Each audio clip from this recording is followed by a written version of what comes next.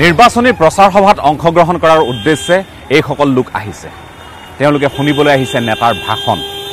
আমি উপস্থিত আছোঁ ৰঙাপাৰা বিধানসভা সমষ্টিত আৰু ৰঙাপাৰা বিধানসভা সমষ্টিৰ যি উপ নিৰ্বাচন অহা একৈছ অক্টোবৰত অনুষ্ঠিত হ'ব তাৰ বাবে ৰাইজে যাতে ভাৰতীয় জনতা পাৰ্টীৰ পক্ষত ভোটাধিকাৰ সাব্যস্ত কৰে সেই উদ্দেশ্যে বিজেপিৰ এখন প্ৰচাৰ সভা ইয়াত অনুষ্ঠিত হৈ আছে। আমি কংগ্ৰেছৰ শিবিৰলৈও যাম। কংগ্ৰেছে কেনেধৰণে ৰঙাপৰা সমষ্টি পুনৰুদ্ধাৰৰ কাৰণে চেষ্টাত ব্ৰতী হৈছে ক'ত ক'ত চলাইছে নিৰ্বাচনী প্ৰচাৰ ভাৰতীয় জনতা পাৰ্টীৰ বিৰুদ্ধে কি হ'ব কংগ্ৰেছৰ ৰণনীতি এই সকলোখিনি কথা জনাৰ উদ্দেশ্যে আমি আহি উপস্থিত হৈছোঁ এই ৰঙাপৰা বিধানসভা সমষ্টিত।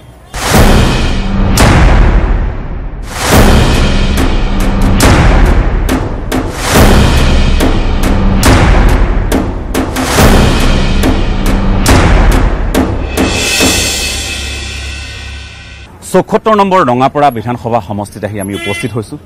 একৈছ তাৰিখত বাকী যিকেইটা সমষ্টিত ভোটদান অনুষ্ঠিত হ'ব ভোটগ্ৰহণ অনুষ্ঠিত হ'ব সেই একেদিনাই এই ৰঙাপৰা বিধানসভা সমষ্টিটো হ'ব। ৰঙাপৰাৰ প্ৰাক্তন বিধায়ক আৰু বৰ্তমানৰ তেজপুৰ সংসদীয় সমষ্টিৰ সাংসদ পল্লৱ লোচন দাস আমাৰ মাজত উপস্থিত আছে। আপোনাৰ কাষলৈ আহিব খুজিছোঁ যে আপুনি এৰি থৈ যোৱা এই আসন আকৌ ভাৰতীয় জনতা পাৰ্টীৰ কাৰণে এটা প্ৰত্যাহ্বান হিচাপে আহিছে। থিয় দিছে কংগ্ৰেছৰ প্ৰাৰ্থী চি পি এমৰ প্ৰাৰ্থীও আছে। কিন্তু আগত যিহেতু এই সমষ্টিটো কংগ্ৰেছৰ দুৰ্গ হিচাপে খ্যাত আছিল পৰৱৰ্তী সময়ত অভিজিৎ হাজৰিকা আহিল আৰু তাৰ পৰৱৰ্তী সময়ত আপুনি সেই ধাৰাটো ইয়াত অন্ত পেলালে ভাৰতীয় জনতা পাৰ্টীৰ প্ৰাৰ্থী হিচাপে। এইবাৰ ৰাজেন বৰঠাকুৰ এই সমষ্টিৰ পৰা তেখেতে উপ নিৰ্বাচনত প্ৰতিদ্বন্দ্বিতা কৰিছে। কি হ'ব যেন অনুমান হৈছে? বিগত ষোল্ল দুহেজাৰ ষোল্ল চনৰ পৰা মই তিনিটা নিৰ্বাচনত পোনপটীয়া প্ৰত্যক্ষভাৱে জড়িত আছোঁ। দুহেজাৰ ষোল্লৰ নিৰ্বাচন মই নিজে নিৰ্বাচনত অৱতীৰ্ণ হৈ ৰাইজে মোক ফুল সমৰ্থন আগবঢ়ালে সেই সময়ত আৰু যথেষ্ট ভাল এটা মাৰ্জিনত মই জয়ী হ'বলৈ সক্ষম হ'লোঁ। দ্বিতীয় আমাৰ পঞ্চায়তৰ নিৰ্বাচন হ'ল। পঞ্চায়তৰ নিৰ্বাচনত আমি বিভিন্ন পঞ্চায়তসমূহত এই অন্ততঃ ৰঙাপাৰা ব্লকৰ গোটেইকেইটা পঞ্চায়ত আমি জিকিবলৈ সক্ষম হ'লোঁ। আৰু ইয়াত আমাৰ যথেষ্ট ভোট শ্বেয়াৰ বাঢ়িলে। এম এল এ ইলেকশ্যনতকৈ ভোট শ্বেয়াৰ বাঢ়িলে। ঠিক তেনেধৰণে আমি মই যেতিয়া সাংসদৰ নিৰ্বাচনত অৱতীৰ্ণ হ'লোঁ তাত দেখিলোঁ পঞ্চায়ত আৰু মোৰ বিধায়কৰ নিৰ্বাচনতকৈ সাংসদৰ নিৰ্বাচনত বেছি সংখ্যক ৰাইজে সমৰ্থন আগবঢ়ালে। আৰু আজিৰ যিটো পৰিৱেশ আজিৰ পৰিৱেশত আমি দেখিছোঁ এইবাৰ আমি আৰু বেছি ভোট পাবলৈ সক্ষম হ'ম। ইয়াত কাৰণ আছে কেইবাটাও। প্ৰথম এটা কাৰণ ৰঙাপাৰাত ৰঙাপাৰাৰ যাতায়াত ব্যৱস্থা খুব জৰাজীৰ্ণ আছিলে। দুহেজাৰ ষোল্ল চনৰ আগত আপুনি সন্মুখৰ এই ৰাস্তা যিটো মুখ্য ৰাস্তা আপুনি অন্যান্য যিমান গোটেই অঞ্চল টাউনৰ কোনো ৰাস্তা সকলো জৰাজীৰ্ণ। কিন্তু ষোল্ল চনৰ পৰা ঊনৈছলৈকে আমি যাতায়াতৰ যথেষ্ট ব্যৱস্থাৰ পৰিৱৰ্তন কৰিলোঁ যথেষ্ট ৰাস্তা আমি পকীকৰণ কৰিলোঁ এতিয়াও কৰিবলৈ বাকী আছে কিন্তু এইখিনিও হ'ব। কিন্তু ৰাইজৰ মনত এটা বিশ্বাস আহিলে যে নহয় ৰাস্তাসমূহ হৈ আছে অনাগত দিনত আৰু ৰাস্তা হ'ব কাৰণ আমি কোৱা কথাখিনি প্ৰতিফলিত হৈছে। মই ইয়াৰ মাজতে আৰু এটা কথা আপোনাক সুধিব খুজিছোঁ যিহেতু কোৱা হৈছে যে আমদানি কৰা নেতাৰ প্ৰসংগ আহিছে স্থান কংগ্ৰেছৰ ফালৰ পৰা সেই প্ৰচাৰ চলিছে চাহ জনগোষ্ঠীক অৱজ্ঞা কৰাৰ প্ৰসংগ আহিছে এই কথাসমূহে কেনেদৰে ক্ৰিয়া কৰিব ভোটাৰৰ মনত? মই এটা উদাহৰণে আপোনাক বুজাব বিচাৰিম যে ৰঙাপাৰা সমষ্টিৰ হয়তো কোনোবা ভোটাৰ ৰাইজে এইখিনি চৰ্চা খুব সম্ভৱ কৰা নাই। এইটো আমাৰ নেতা কৰ্মীবিলাকৰ ভিতৰতে এই বিষয়বিলাক চলি থাকে। ভোটাৰৰ এইটো কথা নহয় মই কেলে কৈছো এই কথাটো? যি। সময়ত ভোটাৰে উন্নয়ন বিচাৰে ভোটাৰে বিচাৰে যে আমাৰ সমস্যাসমূহ সমাধান হ'ব লাগে। যিগৰাকী ব্যক্তিয়ে আমাৰ সমস্যা সমাধান কৰিব যি চৰকাৰে কৰিব তাক ৰাইজে আঁকোৱালি লয়। এইটোৱে প্ৰমাণ কংগ্ৰেছ এটা সময়ত দুৰ্গ আছিলে চাহ জনগোষ্ঠীৰ। আজি গোটেই বিজেপিলে মানুহবিলাক ৰূপান্তৰ হ'ল। দ্বিতীয় কেইদিনমানৰ আগত আমি নাহৰণি চাহ বাগিচালৈ গৈছিলোঁ। নাহৰণি চাহ বাগিচাত গৈ আমি ৰাতিটো থাকিলোঁ। নাহৰণিৰ লগতে সেই নাহৰণিৰ ৰাস্তা জৰাজীৰ্ণ আছিলে। নাহৰণিৰ ৰাস্তা আমি নিৰ্মাণ কৰিলোঁ পানী যোগানৰ ব্যৱস্থা কৰিলোঁ। বিনামূলীয়া চাউলৰ দিয়া হ'ল। আত্মসহায়ক গোটক অনুদান দিয়া হ'ল। বিভিন্ন আঁচনি। ডক্টৰ হিমন্ত বিশ্ব শৰ্মা সৰ্বানন্দ সোণোৱাল নৰেন্দ্ৰ মোদীৰ নামত ৰাইজে আকৃষ্ট হৈছে। ঠিক আছে মই কেইদিনমানৰ আগত মই এটা সৰু উদাহৰণ এইটো কাৰণে দিম যে আমি তাত গৈছিলোঁ চিকিৎসালয়খনলৈ গৈছিলোঁ। চিকিৎসালয়খনত গৈ যেতিয়া আমি যাওঁ এনেই পৰিদৰ্শন কৰিবলৈ এগৰাকী মাতৃয়ে সন্তান প্ৰসৱ কৰিলে। সন্তান প্ৰসৱ হ'ল সেই সময়তে ডক্টৰ হিমন্ত বিশ্ব শৰ্মা মই আছিলোঁৱেই। আমি গৈছোঁ নাইন থাৰ্টিত সেই সময়ত সন্তান প্ৰসৱ হৈছে। তাৰপিছত আমি গুচি আহিলোঁ। মাকে গম পালে সন্তান প্ৰসৱ হোৱাৰ পিছত যে মই আৰু ডক্টৰ হিমন্ত বিশ্ব শৰ্মা তাত গৈছোঁ। মাকে যেতিয়া হেৰি আহিলে মাকে নিজৰ ল'ৰা সন্তানটোৰ নাম হিমন্ত ৰাখি দিলে। আপুনি কি বুজাব? যে চাহ জনগোষ্ঠীৰ এগৰাকী মানে আপোনালোকৰ এটা আস্থা আপোনালোকৰ প্ৰতি এটা আস্থা এটা বিশ্বাস আহিছে বুলি আপুনি ক'ব খুজিছে আৰু সেই সূত্ৰে আৰু আপোনালোকে যিখিনি কামৰ আপুনি মানে আৱেগটোৰ লগত ভাৰতীয় জনতা পাৰ্টীয়ে জড়িত হ'ব পাৰিছে। চাহ জনগোষ্ঠীৰ মানুহ। সাংসদ হিচাপে আহি আজি পুনৰ এই নিজৰ সমষ্টিটোতে প্ৰচাৰ চলাবলগীয়া হৈছে। যিহেতু প্ৰাৰ্থীও আমাৰ মাজত আছে ৰাজেন বৰঠাকুৰ ডাঙৰীয়া। মই আপোনাৰ কাষলৈ আহিছোঁ। এই সমষ্টিটো এটা গুৰুত্বপূৰ্ণ সমষ্টি। আৰু এই সমষ্টিটোত যিহেতু একালৰ কংগ্ৰেছৰ দুৰ্গ বুলি বিভিন্নজনে কয় আৰু সেয়া আছিল। তাৰ পিছত আহ, ভাৰতীয় জনতা পাৰ্টীৰে এগৰাকী প্ৰাৰ্থীয়ে দুহেজাৰ ছয় চনত তেখেতে দুহেজাৰ ছয় চনত তেতিয়া অভিজিত হাজৰিকা আছিল আৰু তাৰ পিছত আহিল আহ, পল্লৱ লোচন দাস। এতিয়া আপুনি খুব বেছি ডেৰ বছৰমান সময় পাব। এই ডেৰ বছৰত কি পৰিকল্পনা আৰু কি প্ৰতিশ্ৰুতিৰে ৰাইজৰ মাজলৈ যাব? চাওক মই প্ৰথম কথা হ'ল কি যে পল্লৱ লোচন দাস ডাঙৰীয়াই আজি তিনিটা বছৰত সমষ্টিটোৰ কাৰণে যিমানখিনি আঁচনি চেংচন কৰাই থৈছে সেই আঁচনিখিনি আচলতে শেষ কৰিবৰ কাৰণে ডেৰ বছৰ আমাক আমাক আচলতে প্ৰয়োজন হ'ব। নতুন আঁচনি আজি ধৰক পানীৰ ক্ষেত্ৰত আমি নতুন আঁচনি ল'ব লাগিব বা বেলেগ ধৰণৰ আঁচনি আছে সেইখিনি আমি তাৰ লগত জড়িত কৰিম। কিন্তু ৰেলৱে অভাৰ ব্ৰিজকে ধৰি যিমান ৰাস্তা এতিয়ালৈকে আৰম্ভ কৰিলে ৰাস্তাবিলাক সম্পূৰ্ণ কৰাৰ কাৰণ ষোল্ল চনৰ আগতে ইয়াতে যদি ৰাঙাপাৰাত আপুনি আহিলেহেঁতেন নিশ্চয় আপুনি গম পালেহেঁতেন সেই ৰাঙাপাৰা আৰু আজি ৰাঙাপাৰাৰ মাজত পাৰ্থক্য ৰাস্তাত। প্ৰভেদ দেখিছো। আপুনি এই ৰাস্তাটোৱে গ'লে এতিয়াও পাব কাৰণ এইটো ৰাস্তাটো পঞ্চাছ কোটি টকা চেংচন হৈ ইতিমধ্যে কাম আৰম্ভ হৈছে। কিন্তু এতিয়াও বহুত মাজত এতিয়ালৈকে কাম সম্পূৰ্ণ কৰিব পৰা নাই। কামখিনি তুৰাম্বিত আমি কৰিব লাগিব।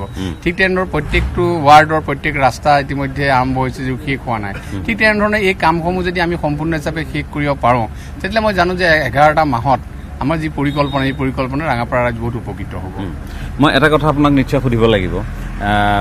আপোনাৰ যিহেতু বিধায়ক হিচাপে এটা অভিজ্ঞতা আছে আৰু ৰাইজৰ মাজত থকাৰ এটা অভিজ্ঞতা আছে। ৰাইজক কেনেধৰণে চম্ভালিব লাগে ভোটাৰক কেনেধৰণে আকৃষ্ট কৰিব লাগে সকলোখিনি কথা আপোনালোকে জানে। এই সমষ্টিটোত যিহেতু আমদানি কৰা নেতা বুলি আপোনাক একাংশই ক'ব খোজে আৰু একে সময়তে স্থানীয় প্ৰাৰ্থী হিচাপে যিগৰাকী কাৰ্তিক কুৰ্মী তেখেতে তেখেতক প্ৰক্ষেপ কৰিছে কংগ্ৰেছে। তাৰ লগতে আহিছে চাহ জনগোষ্ঠীৰ প্ৰসংগ। ভোটাৰৰ যদি গৰিষ্ঠ সংখ্যক চাহ জনগোষ্ঠী এই গোটেইবোৰ কথা কেনেদৰে মোকাবিলা কৰিব? চাওক আচলতে কথাটো হ'ল কি যে আমি কিছুমান কথা আমাৰ কংগ্ৰেছ দলে নিজে সৃষ্টি কৰা কিছুমান কথা। আগতেও কৈছোঁ যে আমদানিকৃত প্ৰাৰ্থী।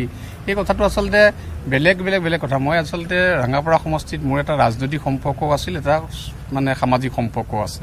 মই ক্ৰীড়াৰ ক্ষেত্ৰত ইয়াৰ বহুত ল'ৰা মই বাহিৰত নি নিজে খেলুৱাইছোঁ। মই ঘোঁৰামাৰী আঞ্চলিক স্পৰ্টছ ষ্টেচন ইয়াৰ পৰা আপুনি ধৰক পাঁচ কিলোমিটাৰ দূৰত আপুনি পাব। তাত গাছা বুলি ক'লে এটা সময়ত গাছা চেলেঞ্জ ফুটবল প্ৰতিযোগিতা এটা সময়ত অসম বিখ্যাত আছিল।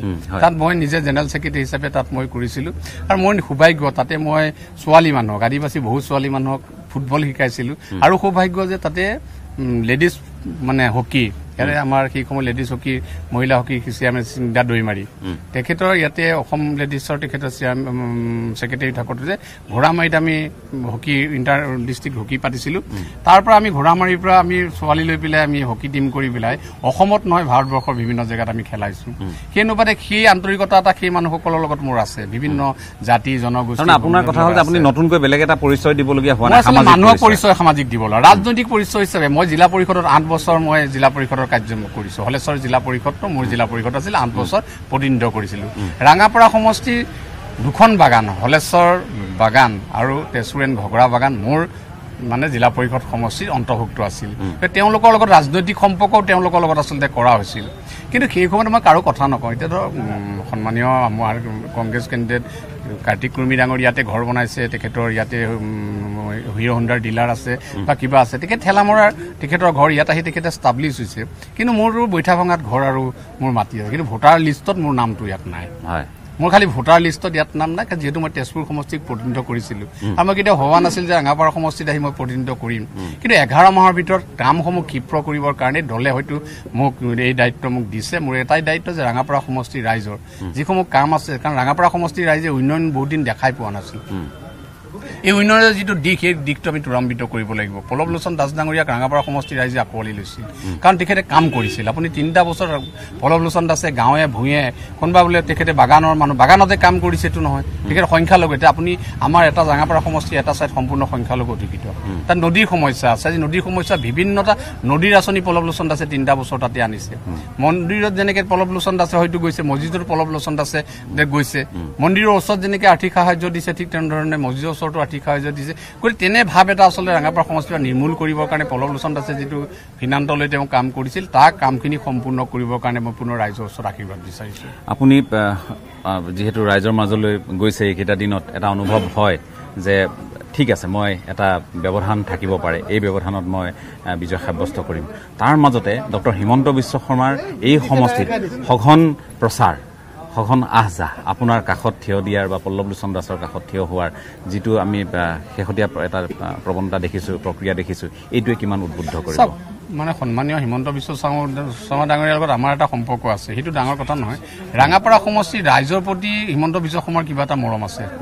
হ'লে ৰাইজে যি বিচাৰিছে তাকে তেখেতে হ'ব বুলি যিটো প্ৰতিশ্ৰুতি দিছে এই প্ৰতিশ্ৰুতিৰে তেখেতে যিটো এতিয়া ইয়াতে ৰাঙাপাৰা সমষ্টিত এটা বৃহৎ ব্যৱধান যে তেখেতে আনিব তেখেতৰ প্ৰতি মৰম থকা ৰাঙাপাৰা সমষ্টিৰ ৰাইজে তেখেতক সম্পূৰ্ণভাৱে আঁকোৱালি লৈছে। তেখেতৰ ঠাইত আমি নিমিত্ত মাত্ৰ। পল্লৱ লোচন দাস বা আমি নিমিত্ত মাত্ৰ। কিন্তু তেখেতৰ সেই যিটো মানে মৰম ৰাঙাপাৰা সমষ্টি নিশ্চয় তাৰ অভিযান ৰাঙাপাৰা সমষ্টিৰ মই ডক্টৰ হিমন্ত বিশ্ব শৰ্মা ডাঙৰীয়া আমাৰ মাজত উপস্থিত আছে। ৰঙাপৰা আপুনি পল্লৱ লোচন দাসৰ সময়তে হওক বা এতিয়া ৰাজেন বৰঠাকুৰৰ সময়তে হওক আপুনি আহিছে কাষত থিয় দিছে আৰু প্ৰচাৰ জোৰদাৰ ৰূপত দেখিবলৈ পাইছোঁ। ৰঙাপৰাক লৈ বা বাকী সমষ্টিকেইটাক লৈ কি ভাবে? আমাৰ গোটেই চাৰিটা সমষ্টিত ইলেকশ্যন হ'ব। তিনিটা সমষ্টিত আমি নিশ্চিতভাৱে জিকিম। আৰু এটা জনীয়াত প্ৰতিদ্বন্দ্বিতা হ'ব দেখা যাওক। জনীয়াক লৈ কিয় আশংকাটো কিয়? জনীয়াক লৈ মই আশংকা কৰাৰ কথা নাই সেই ছিটটো কংগ্ৰেছৰ লগত আছিল। এতিয়াও তাত ইউ ডি এফ কংগ্ৰেছৰ প্ৰতিদ্বন্দ্বিতা আছে। গতিকে সেই ছিটটো ভাৰতীয় জনতা পাৰ্টীৰ কাৰণে নতুন গতিকে কি হয় দেখা যাব কিন্তু বাকী তিনিটা ছিটত যিহেতু আমাৰ বিধায়ক আছিল আমি তাত জিকিম আহ, মই নিজেও গৈছোঁ। জনিয়াল ৰাইজে আহ, সৌসিদনা তৌফিক ৰহমান মোৰ কাষত যেতিয়া মই তেখেতৰ সাক্ষাৎকাৰ লৈ আছোঁ বহু লোকে শুনি আছে। বহু লোকে এই যিটো প্ৰসংগ ওলাইছিল খিলঞ্জীয়া মুছলমান আৰু বংগমূলীয় মুছলমান এই প্ৰসংগটোক লৈ তাত খুব আলোচনা এটা হৈ আছে। মই কি প্ৰসংগ ওলাইছে মই তাত যোৱাও নাই গতিকে মই ইয়াৰ পৰা ক'ব আপুনি যাবনে? চৈধ্য তাৰিখে জনিয়াত আপুনি চৈধ্য? তাৰিখে আপোনাৰ প্ৰচাৰে সাধাৰণতে এটা পৰিৱৰ্তন আনে আমি বহুত ঠাইত দেখিছোঁ। জনিয়াত মোৰ- কথা। এটাই যে তিনিটা সমষ্টিত আমি জিকিম এটা সমষ্টিত প্ৰতিদ্বন্দ্বিতা হ'ব। ধন্যবাদ জনাইছোঁ। ডক্টৰ হিমন্ত বিশ্ব শৰ্মাকে প্ৰমুখ কৰি ইয়াৰ বিজেপিৰ যিসকল নেতা তেওঁলোক আহি উপস্থিত হৈছে আৰু সমষ্টিটো হৈছে ৰঙাপৰা সমষ্টি। চৌসত্তৰ নম্বৰ ৰঙাপৰা বিধানসভা সমষ্টিত আমি যিহেতু গ্ৰাউণ্ড জিৰ'ত আহি উপস্থিত হৈছোঁ প্ৰতিটো কথা আৰু ৰাইজৰ মনৰ আশা এইখিনি বতৰা আপোনালোকৰ মাজলৈ নিবলৈ প্ৰয়াস কৰিছোঁ। একৈছ তাৰিখে ৰঙাপৰাৰ ৰণ অনুষ্ঠিত হ'ব। বাকী তিনিটা সমষ্টিতো বিধানসভাৰ যি উপ নিৰ্বাচন অনুষ্ঠিত হ'ব। গতিকে এই উপ নিৰ্বাচনত ৰঙাপৰাৰ পৰা কোনে শেষ হাঁহি মাৰিব? এই কথাখিনি জানিবলৈ আৰু কিছু সময় অপেক্ষা কৰিব লাগিব। প্ৰাৰ্থীসকলৰ সৈতে কথা পাতিম জনতাৰ সৈতে কথা পাতিম আৰু তাৰ পিছত আমি শেষত এটা নিশ্চয় কথা ক'ব পাৰিম যে ৰঙাপৰাৰ বতাহ কোন দিশে বলিব? এটা বাণিজ্যিক বিৰতি লৈ লৈছোঁ। বিৰতিৰ পাছত আপোনালোকক পুনৰ স্বাগতম জনাইছোঁ। ৰঙাপৰা বিধানসভা সমষ্টিত আমি উপস্থিত আছোঁ এই মুহূৰ্তত। আৰু মই বৰ্তমান ৰঙাপৰা নৰ্থ যি ষ্টেচন ষ্টেচনৰ নিকটৱৰ্তী এটা এলেকাত উপস্থিত হৈছোঁ। ইয়াত বিভিন্নজন জনৰ আহ যাহ আছে। লগতে ইয়াৰ স্থানীয় লোকসকলো সমবেত হয়। চাহৰ আড্ডা চলে। গতিকে এই আড্ডাৰ মাজত ৰাজনীতিয়ে কি স্থান লাভ কৰিছে? চৰ্চা লাভ কৰিছেনে উপ নিৰ্বাচনৰ প্ৰসংগই? এই সন্দৰ্ভত আমি ৰাইজৰ পৰা কিছু কথা জানিবলৈ যত্ন কৰিম। যিহেতু একৈছ তাৰিখে নিৰ্বাচন অনুষ্ঠিত হ'ব। গতিকে একৈছ তাৰিখৰ এই নিৰ্বাচনৰ কাৰণে ৰাইজৰ মাজত যিহেতু প্ৰচাৰ চলাবলৈ আহিছে পূৰ্ণ শক্তিৰে এই বিধানসভা সমষ্টিটোত অৱতীৰ্ণ হৈছে ভাৰতীয় জনতা পাৰ্টী। ডক্টৰ হিমন্ত বিশ্ব শৰ্মাৰ পৰা আদি কৰি যিসকল নেতা তেওঁলোকে ইতিমধ্যেই নিৰ্বাচনী প্ৰচাৰ তুংগত তুলিছে। গতিকে ইয়াৰ স্থানীয় লোকসকলৰ পৰা জানিব খুজিছোঁ যে নিৰ্বাচন একৈছ তাৰিখে আকৌ এটা নিৰ্বাচন। আপোনালোকে ধাৰাসাৰ দুহেজাৰ ষোল্লৰ পৰা নিৰ্বাচন পায়ে আছে। এই এই নিৰ্বাচনটোত কি হ'ব যেন লাগিছে? বিজেপি বিজেপিৰ চাপোৰ্টাৰ বেছি বিজেপি হ'ব। বিজেপিক কিয় বা ৰাইজে পচন্দ কৰিছে? ৰাইজে পচন্দ ৰাঙাপাৰা ৰাস্তা ঘাট নাছিলে ইমান দিনত এতিয়া ৰাস্তা ঘাট ভাল বনাই আছে। আমাৰ ৰাস্তা মেইন ৰোডটো ভাল বনাইছে আকৌ আমাৰ বেংগলী বস্তি চাবগেট ধুনীয়া বনাই আছে। আৰু কিবা কিবি বহুত কিবা কিবি পাইছে মানুহে। বাট পথৰ প্ৰসংগতে কিমান আগত বেয়া আছিলে এতিয়া ভাল ছাৰ। এতিয়া বৰ্তমান চাৰি পাঁচ বছৰ ভালেই একদম ৰঙাপাৰা ইয়াত কেৱল বিজেপিৰে অৱদান আছে নে বাট পথত নে কংগ্ৰেছৰ অৱদান নাজানো মানে বিজেপি অহাৰ পিছতেই হৈছে। বিজেপিক আমি ক্ৰেডিট দিম। সেই ক্ৰেডিটটো বিজেপিয়ে ল'ব কংগ্ৰেছত ইমান দিন দিছো কংগ্ৰেছত পোন্ধৰ বিশ বছৰ যি দিছে ৰাস্তা ঘাট একদম বেয়া আছিলে। আপোনালোকৰ হয়তো অহা নাই একদম ৰাস্তা ইমান আছিলে মানুহ অহাৰ নিচিনা মানুহ সুবিধা ইয়াৰ নাছিল পৰা বালিপাৰা যাব কমচে কম আধা ঘণ্টা টাইম লাগিছিল। ইয়াৰ পৰা বালিপৰালৈ? বালিপাৰা। এতিয়া দহ মিনিট পোন্ধৰ মিনিটত বালিপাৰা পাই গ'ল। তেজপুৰ মোটামুটি আধা ঘণ্টা চল্লিছ মিনিটত পাই গ'ল আগত দুঘণ্টা লাগিছিল। ৰাইজৰ মনত এটা বিশ্বাস যে ভাৰতীয় জনতা পাৰ্টীয়ে ভাল কিবা ভাল কাম কৰিব। কিন্তু সমগ্ৰ ৰঙাপাৰাৰ কাৰণে ভাল আমাৰ এতিয়া ড্ৰাইভাৰো দি আছে উম, এইটো কাৰণে আমি বহুত ভাল পাইছোঁ ৰঙাপাৰা আৰু আমাৰ যিখিনি কাম হৈ আছে আৰু হ'লে বহুত ভাল বিজেপি আমাৰ কাৰণে বহুত ভাল কাম কৰি আছে এই যে কেণ্ডিডেটৰ কথাটো কয় প্ৰাৰ্থীৰ কথাটো যেতিয়া ইয়াত ওলাইছে প্ৰাৰ্থীৰ কথা আমি আমি শুনিছো যে বিজেপিৰ প্ৰাৰ্থীজন আমদানি কৰা প্ৰাৰ্থী বুলি চালানী প্ৰাৰ্থী বুলি এটা কথা কওক আপুনি উন্নয়নৰ কথা কৈছে কেৱল উন্নয়নে নে আৰু কি কিছুমান প্ৰসংগও থাকিব এই নিৰ্বাচনত যেতিয়া ৰাইজে ভোট দিবলৈ যাব? দেখক আমাৰতো আমিতো দেখো বিজনেছ মানুহ আমাৰতো ডেভেলপমেণ্ট লাগে ৰাস্তা ঘাট লাগে ট্ৰেইনৰ ট্ৰেইনৰ ফেচিলিটি লাগে। এইবিলাক আমি পাই আছো তো আমি সেইটোৱে। ঠিক আছে। কি ক'ব নিৰ্বাচনক লৈ? নিৰ্বাচনক লৈ ক'বলগীয়া বিশেষ একো নাই। বিজেপিয়ে আমাৰ ইয়াত চান্স বেছি। আপোনালোকৰ মাজত থাকি মোৰ এনে এনে লাগিছে যে আপোনালোক বিজেপিৰ মানুহ নেকি বিজেপিৰ মানুহ নহয় বিজেপিৰ মানুহ নহয়, কিন্তু বিজেপিৰ প্ৰতি আপোনালোক আমি চাপৰ্ট দিয়াৰ কাৰণে আমি ভাল পাইছো যে আমাৰ কামখিনি বহুত আমি পিছপৰা ঠাই আছিলে আমাৰ এতিয়া আমি বহুত ভাল উম। ঠিক আছে মই অকণমান আপোনাৰ কাষলৈ আহিব খুজিছোঁ কি ক'ব এই নিৰ্বাচন যে অনুষ্ঠিত হ'ব একৈছ তাৰিখে Bharatiya Janata party Congress C P M তাৰ লগতে আমি দেখিছোঁ নিৰ্দলীয় প্ৰাৰ্থীও আছে। কোনে বেছি অগ্ৰাধিকাৰ পাব ৰাইজৰ মাজত? বিজেপি আছে কিয়? কিয় কাম কৰিছে? ভাল কাম কৰিছে। চবফালে কাম কৰিছে। মানুহজন দেখোন বেলেগ সমষ্টিৰ পৰা আহিছে। এই কথাটো যে কংগ্ৰেছে উলিয়াইছে আৰু ইয়াত চাহ জনগোষ্ঠীৰ যথেষ্ট ভোটাৰ আছে। চব কাম হ'ব লাগে। বাহিৰত ঘৰৰ কথা নহয়। আমিতো বাহিৰৰ পৰা চাই লৈছোঁ ঘৰৰ পৰা চাই লৈছোঁ। বাহিৰৰ মানুহে ভাল কাম কৰি আছে? মানে বাহিৰৰ মানুহে আহি ভাল কাম কৰিছে কাম? কৰিব লাগে এইটো কথা আছে। আৰু বাহিৰত মানুহ যে আছে কাম কৰিছে আহি। আপোনালোকে নিশ্চয় আজি এই সমষ্টিৰ যিসকল লোক একেবাৰে সাধাৰণ লোক ব্যৱসায় কৰে কোনোবাই কোনোবাই ইয়াত বিপণী খুলি লৈছে আন কোনোবাই ইয়াত চাহৰ আড্ডাত অংশগ্ৰহণ কৰিছে। মুঠৰ ওপৰত বিভিন্ন ক্ষেত্ৰৰ বিভিন্নজনক আমি এই ষ্টেচনৰ কাষত পাইছোঁ। আৰু তেওঁলোকৰ পৰা সঠিক কথাখিনি জানিবলৈ চেষ্টা কৰিছোঁ যে কিয় ভাৰতীয় জনতা পাৰ্টীৰ প্ৰতি তেওঁলোকৰ আগ্ৰহ বৃদ্ধি পাইছে বা কিয় কংগ্ৰেছৰ প্ৰতি এতিয়াও ক্ষোভ আছে। কংগ্ৰেছ আকৌ এই সমষ্টিটোলৈ উভতি আহিব পাৰিবনে? দহ পোন্ধৰ বছৰ ধৰক। টান আছে। পোন্ধৰ বছৰত নাহে মোৰ আইডিয়া পোন্ধৰ বছৰ আগত ইয়াত মানে সপোন দেখা বাদ দিয়াই ভাল। কাৰণ ইয়াতে পোন্ধৰ বিছ বছৰ কৰি গৈছে এতিয়া বিজেপি আহিছে বিজেপি অহাৰ পিছতো বেয়া কৰা নাই ভালেই কৰি আছে। ভাল কৰাৰ পিছত মানুহেতো ভালটোকে ছাপোৰ্ট দিব। ঠিক আছে। পল্লৱ লোচন দাস দুহেজাৰ ষোল্ল চনত ইয়াত যিহেতু নিৰ্বাচনত অৱতীৰ্ণ হৈছিল বিজয় সাব্যস্ত কৰিছিল ভাৰতীয় জনতা পাৰ্টীৰ টিকট লাভ কৰিছিল। সেইগৰাকী পল্লৱ লোচন দাস তেওঁ ইয়াত কাৰ্যনিৰ্বাহ কৰা কৰি থকাৰ সময়তে তেখেতে যিহেতু মন্ত্ৰিত্বৰ দায়িত্ব লাভ কৰিছিল বিধায়ক হিচাপে থকাৰ সময়খিনিত মন্ত্ৰিত্বৰ পদ এৰি তেওঁ সাংসদ হ'ল। আৰু সেয়েহে এই আসনখন খালী হ'ল।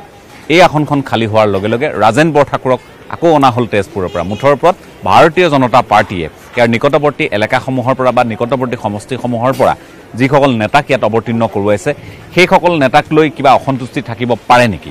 এই কথাখিনি আমি সাধাৰণ যিসকল লোক ইয়াৰ যিসকল বিক্ৰেতা হওক বা ইয়াৰ যিসকল নাগৰিক তেওঁলোকৰ পৰা জনাৰ চেষ্টা কৰি আছোঁ। গতিকে তেওঁলোকে এই প্ৰসংগটো পোনচাতেই নৎসাত কৰিছে? তেওঁলোকৰ এটাই কথা উন্নয়ন হ'ব লাগে আৰু উন্নয়ন তেওঁলোকে হোৱাটো বিচাৰে ৰঙাপৰা বিধানসভা সমষ্টিত।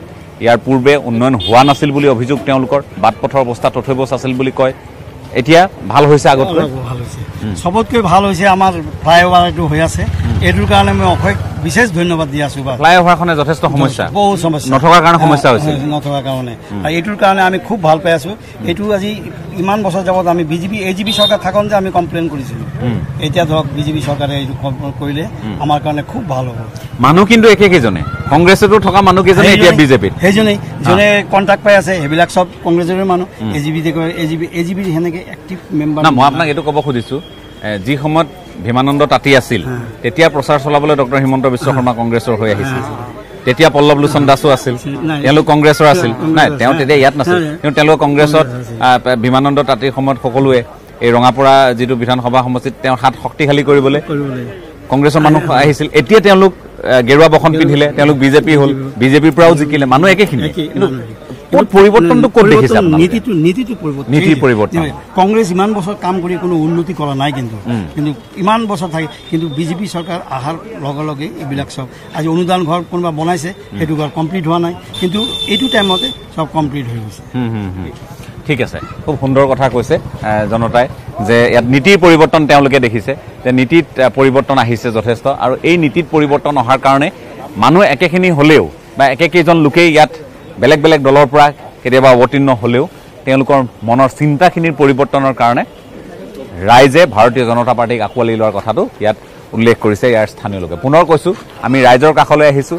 ৰাইজৰ মতামত একেবাৰে শুদ্ধ ৰূপত সঠিক ৰূপত যিখিনি তেওঁলোকে কৈছে হু বহু আপোনালোকৰ সন্মুখলৈ লৈ আহিছোঁ। কোনো দলৰ তেওঁলোক লোক নহয়। আপুনি ইয়াৰে বাসিন্দা? আপোনালোকে আপোনালোকে কি দেখিছে যে এই একৈছ তাৰিখৰ নিৰ্বাচনটো কি হ'ব? এইটো বিজেপি হ'ব যেন লাগিছে। আৰু বিজেপিয়ে যি কাম কৰি আছে এতিয়া বৰ্তমান ভালে হৈ আছে। আৰু কি? আপ- আপোনাৰ কি আপোনাৰ আপোনাৰ নাম কি? আমাৰ নাম মানিক লাল নাথ আমাৰ এইখন দোকান। আচ্ছা আপোনালোকে নিজৰ ব্যৱসায়ৰ ক্ষেত্ৰতো? অঁ নিউজ পেপাৰৰ আমাৰ। হেৰি কি কয় কাম নিউজ পেপাৰৰ এজেঞ্চি আছে। হয় হয় হয়। একদম পুৰা এজেঞ্চি খবৰৰ সৈতে জড়িত মানুহ আপোনালোক। খবৰৰ সৈতে জড়িত মানুহ আমাৰ দৰে। গতিকে একেবাৰে নিৰপেক্ষ অৱস্থানত আপুনি কৈছে যে ভাৰতীয় জনতা পাৰ্টীৰ স্থিতি ইয়াত ভাল। একদম, একদম? ভাল একদম ভাল। এতিয়া এইবাৰ কোনো কথাই নাই। একদম নিশ্চিত হৈ থাকক আপুনি যে ভাৰতীয় জনতা পাৰ্টি আহিব। আৰু কোনো কথাই নাই। হয়। ইয়াৰ আমি দেখুৱাবলৈ যত্ন কৰিছোঁ ইয়াৰ লোকসকলক। আৰু তাৰ লগতে আমি অকণমান যিহেতু ইয়াৰ স্থানীয় যিসকল লোক আৰু ইয়াত যিখন আটাইতকৈ বেছি জনপ্ৰিয় হোটেল খাদ্যৰসিকসকলৰ বাবে এখন ভাল হোটেল অন্নপূৰ্ণা হিন্দু হোটেল। যে এই হিন্দু হোটেললৈ আমি অকণমান যাবলৈ যত্ন কৰিম। যে তেওঁলোকেনো কি বিচাৰে? তেওঁলোকে কি ভাবিছে এই নিৰ্বাচনক লৈ? চি পি এমৰ এগৰাকী যিহেতু সমৰ্থক আছে মই অকণমান মই এই হোটেলতে লগ পাইছোঁ। আমি আমি আপুনি যিহেতু এগৰাকী দলৰ নেতা হিচাপে আপুনি নিশ্চয় নিজৰ দলৰ যিখিনি স্থিতি দলৰ যিখিনি মেছেজ বাৰ্তা জনতাৰ মাজলৈ লৈ যাবলৈ যত্ন কৰিব। চি পি এমে এই সমষ্টিটোত আহ, যি ধৰণে প্ৰত্যাশিতভাৱে ভোট পাবলৈ সক্ষম হ'বনে? কাৰণ ভাৰতীয় জনতা পাৰ্টীৰ কথাই ৰাইজৰ মুখত বেছিকৈ শুনিছোঁ। স্বাভাৱিক কথা এটা শাসক দলৰ পক্ষে প্ৰচাৰটো থাকিবই আৰু সকলো প্ৰচাৰ মাধ্যমে শাসক দলৰ পক্ষে বেছিকৈ প্ৰচাৰ কৰে। কিন্তু আমি যিটো দেখিছোঁ আমি এই নিৰ্বাচনটোক আমি কিছুমান নীতিগত প্ৰশ্ন আমি উত্থাপন কৰিব বিচাৰিছোঁ। অসমত যিকেইটা বিষয়ে বিশেষকৈ এইখিনি সময়ত ৰাইজক ব্যতিব্যস্ত কৰি তুলিছে সেই বিষয়কেইটা নাগৰিকত্ব সংশোধনী বিধেয়কৰ যিটো প্ৰশ্ন আৰু আমাৰ ৰঙাপাৰা অঞ্চলত আমি দেখিছোঁ এন আৰ চিত বহু সংখ্যক মানুহৰ নামো উঠা নাই ভাৰতীয় নাগৰিক বাদ গৈছে। সেইটো এটা বিষয়। তদুপৰি আমাৰ অঞ্চলটো বাগিচা অধ্যুষিত অঞ্চল। এই বাগিচা অধ্যুষিত অঞ্চলত আজি এটা যিটো তথ্য ওলাইছে যিটো ৰাইজে জনা উচিত যে আমি যেতিয়া চাহ খাওঁ সেই চাহপাতৰ প্ৰতি এশ টকা বিক্ৰী চাহপাতৰ মূল্যৰ মাত্ৰ সাত টকা শ্ৰমিকজনে পায় মজুৰি পায়। ইয়াতকৈ নিৰ্ধাৰণ কথা হ'ব নোৱাৰে যিটো আজি অক্সফাৰ্মৰ তথ্যত ওলাইছে। গতিকে কিমানভাৱে আমাৰ চাহ শ্ৰমিকসকল শোষিত বঞ্চিত হৈছে। কিন্তু আজি আমি দেখিছোঁ চাহ শ্ৰমিক মোৰ প্ৰশ্নটো হ'ল আপুনি যিখিনি কথা কৈছে ভেলিড। ভেলিড পইণ্ট একেবাৰে এইখিনি আমি কাটিব নোৱাৰা কথা যুক্তিৰ। কিন্তু তাৰ মাজতো চাহ জনগোষ্ঠীৰ লোকৰ মাজলৈ গৈছোঁ। অন্যান্য যিখিনি বৰ্ণ সম্প্ৰদায়ৰ সকলো লোকৰ কাষলৈ গৈছোঁ। সাধাৰণ অৰ্থত ক'বলৈ গ'লে ভোটাৰৰ কাষলৈ পোনপটীয়াকৈ যেতিয়া যাওঁ এই কথাসমূহে তেওঁলোকৰ ওপৰত ৰেখাপাত নকৰে। কিয় নকৰে? নকৰাৰ কথাটো হৈছে এতিয়া অতি সম্প্ৰতি যিটো হৈছে চৰকাৰে আজি তুষ্টিকৰণৰ যিটো ৰাজনীতি লৈছে যোৱা সময়ছোৱাত তেওঁলোকে যিটো চাহ শ্ৰমিকৰ একাউণ্টত পাঁচ হাজাৰ টকাকৈ ভৰাই দিয়াৰ যিটো কথা ক'লে আৰু শেহতীয়াকৈ তেওঁলোকে যিটো প্ৰচাৰ কৰিছে যে বিনা পইচা চাউল দি দিয়া হৈছে চাউল দিছে কিছু। চেনিটো এতিয়ালৈকে দিয়া নাই। আজি এইবিলাক কথা তেওঁলোকে বিভিন্ন ধৰণে সাধাৰণ শ্ৰমিকৰ মাজলৈ লৈ গৈছে। অতি দুখীয়া শ্ৰমিক। তেওঁলোকৰ কোনো সাধাৰণ এটা বাচি থকাৰ যিখিনি তেওঁলোকৰ সুযোগ লাগে এটা এটা মান্যতাপূৰ্ণ এটা মৰ্যাদাপূৰ্ণ জীৱনৰ যিখিনি লাগে সেইখিনি তেওঁলোকৰ নাই। বঞ্চিত কৰি ৰাখিছে যুগ যুগ কৰি ৰাখিছে। কংগ্ৰেছেও ৰাখিলে। আৰু আজি এই দলেও তিনিশ আপোনাৰ একাৱন্ন টকা দৰমহা দিয়াৰ কথা কৈছিল। কথা আপোনালোকে ইমান সবল যুক্তি দাঙি ধৰাৰ পিছতো ৰাইজ আপোনালোকৰ কাষত থাকিব বুলি আপোনালোক আশা আমি আমাৰ কথাখিনি ৰাইজৰ ওচৰত তুলি ধৰিম। আৰু তুলি ধৰাটো আমাৰ কৰ্তব্য বুলি আমি মাৰ্ক্সবাদী কমিউনিষ্ট পাৰ্টি ভাবোঁ। আমি সবলভাৱে আমাৰ কথাখিনি ৰাইজৰ ওচৰত তুলি ধৰিম। আৰু বিজেপিয়ে যিটো দেশত আজি কৰিছে যিটো সৰ্বনাশ কৰিছে আজি ৰাজহুৱা খণ্ড সৰ্বনাশ কৰি দিছে আজি B S N L M T N L তেওঁলোকে আজি তুলি দিবলৈ বিচাৰিছে। আজি বি পি চি এল তেওঁলোকে উঠাই দিব বিচাৰিছে। ৰাজহুৱা খণ্ড ধ্বংস কৰিছে। কোনো নতুন যুৱকৰ কৰ্মসংস্থান সৃষ্টি নহয়। এই কথাবিলাক আমি ৰাইজৰ ওচৰত তুলি ধৰিম। ৰাঙাপাৰা অঞ্চলত মই ক'ব বিচাৰিছোঁ তেওঁলোকে ক'ব নোৱাৰিব। ৰাঙাপাৰাত এজনো চাহ যুৱকক তেওঁলোকে সংস্থান দিছে। ইয়াৰ কোনো আমাৰ যি মধ্যবিত্ত সমাজ তেওঁলোকৰ কোনো যুৱকক বেংক ইঞ্চুৰেঞ্চ বা অন্য ক্ষেত্ৰত তেওঁলোকক সংস্থান দিছে। কোনো কৰ্মসংস্থান ৰাস্তা তেওঁলোকৰ নাই। এতিয়া ঢাক ঢোল পিটিছে বিজেপিক গোট দিলে আমি চব কৰি দিম। আপুনি একমাত্ৰ খনামুখৰ পৰা আপুনি মানচিৰিৰ ৰাস্তাটোত আজি গৈ আহক। আজি আমাৰ গড়কাপ্তানী মন্ত্ৰী ইয়াত আহি পেলাই ইয়াত অৱস্থান কৰিছে। তেখেতে গৈ আহক মই চেলেঞ্জ কৰিছোঁ আজি পাঁচ বছৰ তেওঁলোকে কি কৰিলে তাৰ দৃষ্টান্ত তেওঁলোকে তাতে পাই যাব। ঠিক আছে ধন্যবাদ জনাইছোঁ। এয়া আছিল ৰঙাপাৰাৰ সাধাৰণ ৰাইজৰ পৰা আদি কৰি বিভিন্ন ৰাজনৈতিক দলৰ নেতা প্ৰতিনিধিসকলৰ ভাষ্য। ৰঙাপাৰাত আমিও আহি অৱস্থান কৰিছোঁ যাতে ৰঙাপাৰাৰ তথ্যখিনি সঠিক ৰূপত আপোনালোকৰ সন্মুখলৈ লৈ যাব পাৰোঁ। ভাৰতীয় জনতা পাৰ্টি এতিয়াও চালকৰ আসনত আছে। চি পি এম হওক বা কংগ্ৰেছ।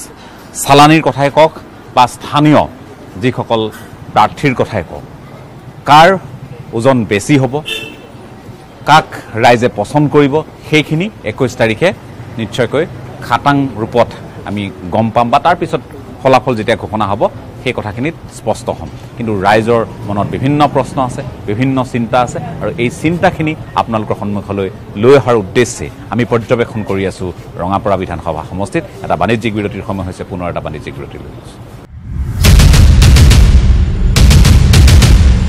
পাঁচগৰাকী প্ৰাৰ্থী আৰু এটা সমষ্টি।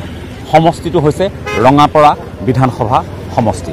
একৈছ তাৰিখত যি উপ নিৰ্বাচন অনুষ্ঠিত হ'ব তাৰ প্ৰাকখনত এই সমষ্টিটোৰ ৰাইজৰ মাজত ৰাজনৈতিক বাতাবৰণ কেনে পৰিৱেশ পৰিস্থিতি কেনে কাৰ পক্ষত আছে সৰ্বাধিক ভোটাৰ তাৰ এক উমাল লোৱাৰ উদ্দেশ্যে আমি আহি ইয়াত উপস্থিত হৈছোঁ। কিন্তু আমি যেতিয়াই নিৰ্বাচন কেন্দ্ৰিক কোনো অনুষ্ঠানলৈ ৰাইজৰ মাজলৈ যাওঁ। যেতিয়াই ৰাইজৰ মনৰ কথাখিনি জনাৰ প্ৰয়াস কৰোঁ সেই অঞ্চলৰ যিসমূহ দল সংগঠন তেওঁলোকক আমি আওকাণ কৰিব নোৱাৰোঁ তেওঁলোকৰ ভূমিকাকো আওকাণ কৰিব নোৱাৰি। এই মুহূৰ্তত মই শ্বহীদ কনকলতাৰ প্ৰতিমূৰ্তিৰ কাষত উপস্থিত আছোঁ। আৰু ইয়াত যিহেতু আছে ইয়াৰ কেইবাটাও সংগঠনৰ প্ৰতিনিধি কি আৰ এছ এছৰ ইয়াত প্ৰতিনিধি হওক কি অসম জাতীয়তাবাদী যুৱ ছাত্ৰ পৰিষদ কি সদৌ অসম ছাত্ৰ সন্থাৰ প্ৰতিনিধি। কাৰণ জনতাৰ সৈতে স্থানীয় যিসমূহ যিসকল লোক তেওঁলোকৰ সৈতে পোনপটীয়া এক সম্পৰ্ক থাকে। মই আপোনাৰ কাষলৈ আহিছোঁ। আপুনি অসম জাতীয়তাবাদী যুৱ ছাত্ৰ পৰিষদৰ হয়। মই আপোনাৰ পৰা জানিব খুজিছোঁ এই যিটো উপ নিৰ্বাচন উপ নিৰ্বাচন মানে এটা খৰচ অতিৰিক্ত বোজা। এই কথাবোৰ বাৰু আছেই। তৎসত্বেও আমি যিটো গণতান্ত্ৰিক পৰম্পৰা সেইটোক আওকাণ কৰিব নোৱাৰোঁ। আজিৰ তাৰিখত ৰঙাপৰাত কি পৰিৱেশ পৰিস্থিতি আৰু ৰাইজে কি চাই এজন প্ৰাৰ্থীক নিৰ্বাচিত কৰিব? আমি অসম জাতীয়তাবাদী যুৱ ছাত্ৰ পৰিষদৰ পৰা আগন্তুক যি উপ নিৰ্বাচন হ'বলৈ গৈ আছে আমি এই উপ নিৰ্বাচনত ৰঙাপাৰা ৰাইজে স্থানীয় প্ৰাৰ্থী হেৰিৰ কাৰণে ডিমাণ্ড কৰিছিলে। তো এই ক্ষেত্ৰত দুটা ৰাজনৈতিক দলে ৰঙাপাৰা বিভিন্ন সংগঠনৰ দাবীৰ প্ৰতি সহযোগিতা কৰিছে আৰু দুই এটা দলে সহযোগ কৰা নাই। আমি সমন্বয়ন বিচাৰিছোঁ। ৰঙাপাৰা অঞ্চল অতিকৈ স্বাধীনতাৰ পিছ পিছৰ পৰা ই এটা অনুন্নত অঞ্চল। এই অনুন্নত অঞ্চলটিক যি সক যি ব্যক্তিয়ে অৰ্থাৎ যি প্ৰাৰ্থীয়ে অগ্ৰাধিকাৰ দিব আমি তেখেতকে আগ- আগন্তুক দিনত সহায় কৰিম। এইটো আপোনালোকৰ স্পষ্ট কথা। অৰাজনৈতিক অৰাজনৈতিক এটা সংগঠন হ'লেও আপোনালোকে কথাখিনি স্পষ্টভাৱে আজি কৈছে। মই ধন্যবাদ জনাইছোঁ আপোনাৰ কাষলৈ আহিম। সংঘৰ ফালৰ পৰা আপুনি ইয়াত আহি বাহৰ পাতি কি উমান পাইছে? মই এইটো কথা নদী ক'ব পাৰোঁ যে ভাৰতীয় জনতা পাৰ্টীৰ যি উপ নিৰ্বাচন এই উপ নিৰ্বাচনৰ যোগেদি ৰঙাপাৰা সমষ্টিৰ যিমানবিলাক অসুবিধা আমাৰ যিবিলাক জাতীয় আৱেগ সকলো সমস্যা আমাৰ দলৰ যি আমাৰ নতুন প্ৰাৰ্থী যি আহিছে ৰাজেন বৰঠাকুৰ তেখেতে নিশ্চয় পূৰণ কৰিব বুলি আমি আশাবাদী। তেওঁ নিশ্চয় পূৰণ কৰিব। ঠিক আছে। আৰু ধন্যবাদ ইতিমধ্যে তেখেতে সকলোবিলাক আমাৰ ৰঙাপাৰা স- সমষ্টিৰ গোটেইবিলাক তেখেতে ঘূৰি পাকি চাই আছে ক'ত কি সমস্যা আছে যাতে তেখেতে নিৰ্বাচিত হোৱাৰ পিছতেই যাতে এনে বলিষ্ঠ পদক্ষেপ লৈ সমস্যাবোৰ সমাধান কৰিব পাৰে। সদৌ অসম ছাত্ৰ সন্থাৰ প্ৰতিনিধি আছে। সদৌ অসম ছাত্ৰ সন্থাৰ পৰা জানিব খুজিছোঁ। ইয়াত আমি একেবাৰে চিন্তাবোৰ যদি আমি ৰাইজৰ মনৰ চিন্তাবোৰ যদি চাওঁ বা আন যিসকল ইয়াৰ গণ্যমান্য ব্যক্তি তেওঁলোকৰ মনৰ কথাখিনি যদি আমি উমান লৈ ক'বলৈ যাওঁ যে ইয়াত চালানী আৰু থলুৱা। এই শব্দটো তাৰ আহ, সাংঘাতিক প্ৰচলন চলিছে নিৰ্বাচনৰ প্ৰাকখনত আপোনালোকে কি ভাবে? চালানী আৰু থলুৱা যিটো কথা আপুনি ক'লে সেইটো বহুত বছৰ ধৰি ৰঙাপাৰা অঞ্চলত চলি আছে। বিশেষকৈ চালানীও আহিছে। ইয়াত মেক্সি আজিলৈকে যিমানকেইটা বিধায়ক ইয়াৰ পৰা গৈছে তেওঁলোক ৰঙাপাৰা বাহিৰৰে হয়। কিন্তু তাৰ মাজতো যিহেতু কিছুমান সময়ত ৰঙাপাৰাত সেনেকুৱা যোগ্য প্ৰাৰ্থী নোলোৱাৰ কাৰণে কিছুমান সময়ত এনেকুৱা পৰিস্থিতিৰ সৃষ্টি হৈছে যাতে কিছুমান দলে বাহিৰৰ প্ৰাৰ্থীও দিব লগা হৈছে। এইবাৰ আমি দেখিছোঁ যে দুটামান দলে স্থানীয় প্ৰাৰ্থীক ইয়াত দিছে। কিন্তু আমি আশা ৰাখিছোঁ। কিন্তু যোগ্য প্ৰাৰ্থী যোন হয় তেওঁকে যাতে আমি আমাৰ ৰাইজে আমি গম পাইছোঁ যে তেওঁলোককে ওলাই লৈ যাব। এইখিনি এটা যিহেতু বিভিন্ন সমস্যাৰে জৰ্জৰিত এটা আমাৰ ৰঙাপাৰা এটা বিধানসভা সমষ্টি। আপুনি নিজে দেখা পাইছে যে ৰঙাপাৰা সমষ্টিত উন্নয়নৰ ক'ব লগাতো ৰঙাপাৰা একদম বহু পিছত আছে। অসমৰ এশ ছাব্বিছটা সমষ্টিৰ ভিতৰত বহুত পিছত আমাৰ ৰঙাপাৰা সমষ্টি বুলি ধৰিব লাগিব। ধন্যবাদ জনাইছোঁ মই আপোনাৰ কাষলৈ আহিছোঁ। এই সমষ্টিটোত আমি আহি মন কৰিছোঁ যে ৰাইজৰ মাজলৈ যেতিয়াই গৈছোঁ যেতিয়াই সাধাৰণ ৰাইজৰ সৈতে কথা পাতিছোঁ তেওঁলোকে এটা কথাই কৈছে প্ৰাৰ্থী য'ৰেই নহওক লাগে। য'ৰ পৰাই আহি ইয়াত নিৰ্বাচনত অৱতীৰ্ণ নহওক লাগে। তেওঁলোকে বিচাৰিছে উন্নয়ন। আৰু তেওঁলোকে এইটো কথাও স্পষ্টভাৱেই কৈছে আজি যে কম বেছি পৰিমাণে হ'লেও আগৰ তুলনাত ইয়াৰ আগৰ যিগৰাকী বিধায়ক আছিল পল্লৱলোচন দাস এতিয়া তেওঁ সাংসদ তেওঁৰ সময়ছোৱাত হওক বা তেওঁ ঠিক দায়িত্ব বা নিৰ্বাচিত হোৱাৰ সময়ৰ আগে পিছে ইয়াত কাম কাজ কিছুমান হৈছে ৰাইজে কৈছে। সেই কথাখিনিও সঁচা। হয় এইখিনি কথা সঁচা যে ইয়াৰ আগৰ যিজন বিধায়ক নিৰ্বাচিত নিৰ্বাচিত হৈছিল তেখেত বৰ্তমান সাংসদ হিচাপে নিৰ্বাচিত হৈছে। যোৱা স্বাধীনতাৰ পিছৰ পৰা যিসকল বিধায়ক নিৰ্বাচিত হৈছিল তেখেতসকলতকৈ যোৱা বিধানসভাত নিৰ্বাচিত হোৱা বিধায়কজনে কিছু কাম কৰিছে আগবঢ়াই নিছে। নিশ্চয়। আমি কথা পাতি আছোঁ এটা সমষ্টিৰ বিষয়ে। আৰু এই সমষ্টিটো এনে এটা গুৰুত্বপূৰ্ণ সমষ্টি যিটো সমষ্টিৰ কথা আওকাণ কৰিব নোৱাৰিয়ে বোধ হয় ডক্টৰ হিমন্ত বিশ্ব শৰ্মা। লগতে ভাৰতীয় জনতা পাৰ্টীৰ যিসকল শীৰ্ষ নেতা তেওঁলোক আহি ইয়াত উপস্থিত হৈছে। তেওঁলোকে চলাইছে নিৰ্বাচনী প্ৰচাৰ।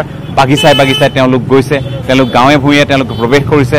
মুঠৰ ওপৰত এটাই কথা ডেৰ বছৰৰ কাৰণে এই উপ নিৰ্বাচনৰ জৰিয়তে যাতে ৰাজেন বৰঠাকুৰক ভাৰতীয় জনতা পাৰ্টীয়ে বিধায়ক হিচাপে নিৰ্বাচিত কৰি উলিয়াই নিব পাৰে। ইয়াৰ বিপৰীতে কাৰ্তিক কুৰ্মী যিগৰাকী কংগ্ৰেছৰ প্ৰাৰ্থী তেওঁ যথেষ্ট ভেটি সবল চাহ বাগিচা অঞ্চলসমূহত আৰু এগৰাকী শিক্ষিত চাহ জনগোষ্ঠীয় লোক হিচাপে তেখেতক ৰাইজে নিৰ্বাচিত কৰিব বুলিও আশাবাদী কংগ্ৰেছ দল। কংগ্ৰেছে এই সমষ্টিটো পুনৰুদ্ধাৰ কৰিব পাৰিবনে? মই আহিব খুজিছোঁ কংগ্ৰেছৰ ক্ষেত্ৰত কংগ্ৰেছৰ ক্ষেত্ৰত অকণমান এইবাৰ যিখন যুঁজ প্ৰত্যাহ্বানমূলক হ'ব। আপোনালোকে ইয়াৰ স্থানীয় লোক হিচাপে বা স্থানীয় যুৱক হিচাপে এই গোটেই ৰাজনৈতিক পৰিক্ৰমাটো কেনেদৰে মন কৰিছে? কংগ্ৰেছ যিহেতু আমি গম পাইছোঁ যে আপোনাৰ ৰঙাপাৰাৰ পৰা কাৰ্তিক কৰ্মী ডাঙৰীয়াক হেৰি কৰিছে। কাৰ্তিক কৰ্মী ডাঙৰীয়াৰ মানে আগৰ মানে যি প্ৰস্তাৱ মানে কংগ্ৰেছৰ টাইমত তেওঁৰ মানে আগৰ হেৰিখিনি তেওঁ নিজৰ চাহ বাগিচাৰ নিজৰ জাতিলৈ অলপমান কাম কাজখিনি অলপমান হেৰি কৰিছে। তেওঁ মানে তেওঁক এতিয়া বেছি মানুহবিলাকে ভাল হেৰিটো না- নাপায়। যিহেতু এতিয়া তেওঁ এতিয়া বাগান যিহেতু চাহ বাগিচাৰ ক্ষেত্ৰত এতিয়া তেওঁ নিজৰ মানুহবিলাকক কি হিচাপে নিজৰ কৰিব পাৰে। সেইটো চাবলগীয়া হ'ব। মুঠৰ ওপৰত কথাটো হ'ল এই ৰঙাপৰা যিটো বিধানসভা সমষ্টি এই বিধানসভা সমষ্টি কংগ্ৰেছৰ বাবেও হৃত গৌৰৱ উদ্ধাৰ কৰাৰ এটা সুযোগ। এই সমষ্টিটো বিজেপিয়ে নিজৰ দখলত ৰাখিব খুজিছে। বামপন্থী দল তেওঁলোকেও ৰাইজৰ মাজলৈ কেতবোৰ বিষয় লৈ যাব খুজিছে। ভাৰতীয় জনতা পাৰ্টীয়ে হিতাধিকাৰী বা উপভোক্তাৰ জৰিয়তে তেওঁলোকে এই নিৰ্বাচনত নিজৰ যি বিজয় ধ্বজা সেয়া উৰুৱাই ৰাখিবলৈ সক্ষম হ'বনে? নে কংগ্ৰেছে এই সমষ্টিটোত নিজৰ যি কব্জা সেয়া দেখুৱাবলৈ সক্ষম হ'ব? এই সকলোখিনি কথা আমি জানিবলৈ কিছু সময় নিশ্চয় অপেক্ষা কৰিব লাগিব। প্ৰাকখনত আহিছোঁ কিছু আভাস ল'বলৈ যত্ন কৰিছোঁ আৰু এটা বাণিজ্যিক বিৰতি লৈ লৈছোঁ। বাণিজ্যিক বিৰতিৰ পিছত পুনৰ আপোনালোকৰ সন্মুখলৈ আহিম আমি দিনৰ ভাগতে আহিছিলোঁ আৰু এই মুহূৰ্তত আহি কংগ্ৰেছ শিবিৰত উপস্থিত হৈছোঁ। কংগ্ৰেছৰ এই যি কাৰ্যালয় কাৰ্যালয়ৰ সন্মুখত আহি উপস্থিত হৈছে ইয়াৰ যিগৰাকী প্ৰাৰ্থী ৰঙাপৰা বিধানসভা সমষ্টিৰ উপ নিৰ্বাচনৰ প্ৰাৰ্থী কাৰ্তিক কুৰ্মী। আমি তেখেতৰ কাষলৈ যাম কিন্তু আনুষ্ঠানিকতা অকণমান আছে। আনুষ্ঠানিকতা তেওঁলোকে কাৰ্যালয় মুকলি কৰাৰ কাৰণে আহিছে আৰু আমিও সেই ক্ষণতে আহি উপস্থিত হৈছোঁ। গতিকে ৰঙাপৰাৰ চহৰৰ মাজমজিয়াত যিটো কাৰ্যালয় সেইটো তেওঁলোক তেওঁ উন্মোচন কৰিছে। আৰু আমি তেওঁৰ সৈতে কথা পাতিবলৈ যত্ন কৰিম। এয়া কংগ্ৰেছৰ এতিয়া মই আপোনাৰ কাষলৈ আহিব খুজিছোঁ। এই নিৰ্বাচনটো আপোনালোকৰ কাৰণে যিটো আপোনালোকৰ হৃতক গৌৰৱ হৃতক গৌৰৱ উদ্ধাৰ কৰাৰ এটা সুযোগ। সেই সুযোগ ল'ব পাৰিবনে কংগ্ৰেছে? নিশ্চয় পাৰিব।